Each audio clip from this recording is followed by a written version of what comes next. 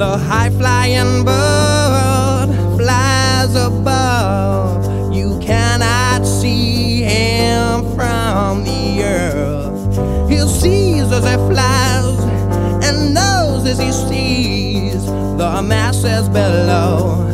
There's trouble below, yeah.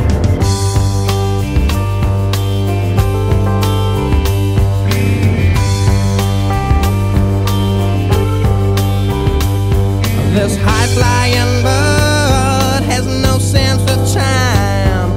For a thousand years he